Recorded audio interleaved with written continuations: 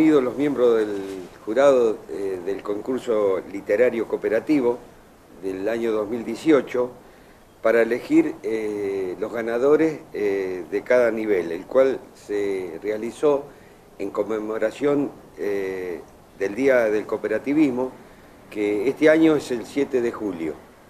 el jurado está compuesto por este, dos personas del Consejo de Administración,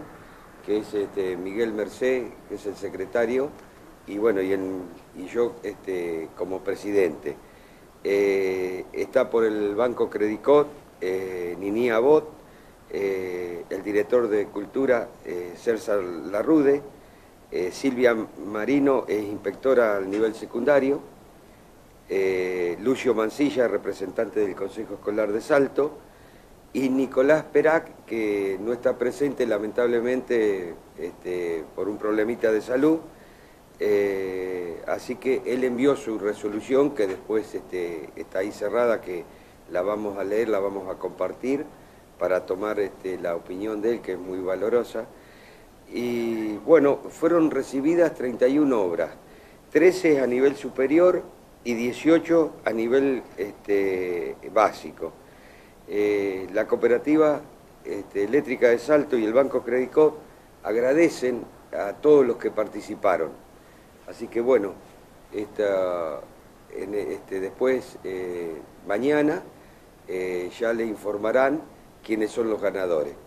agradeciéndole la presencia y la colaboración a todos los participantes.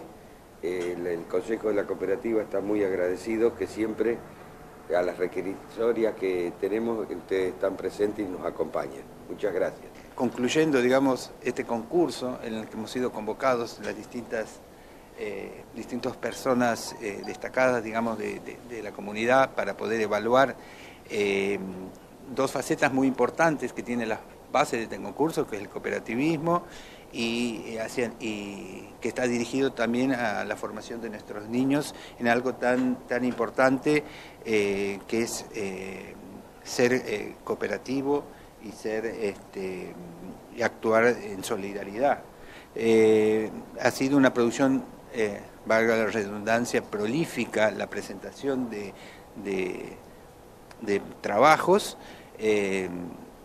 tanto en los dos niveles, tanto superior como eh, básico, y creo que, bueno, todos estamos conformes, por lo menos de mi parte, eh, estoy orgulloso, digamos, de,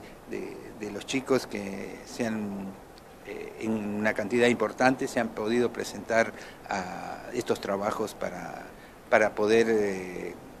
destacarse, digamos, como, como autores de, literarios, ¿no? Así que, bueno, muchísimas gracias también a la Cooperativa Eléctrica por, por invitarnos a ser parte de este, de este jurado.